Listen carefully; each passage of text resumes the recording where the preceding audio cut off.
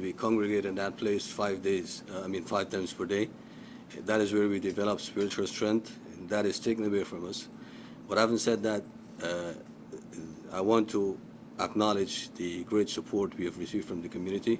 We want them to know that this will not change our perception of the community. We know this community is a great community, peaceful, loving, welcoming community, and this will not change that stuff. I want them to know that stuff. And I want to uh, uh, thank the police force for its uh, role in this investigation. Um, I live almost opposite the, the masjid. So if anyone is supposed to be afraid, it's supposed to be me.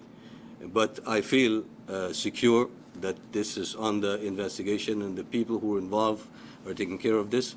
And uh, we just want to uh, show our appreciation for uh, what they're doing for us. And thank you very much.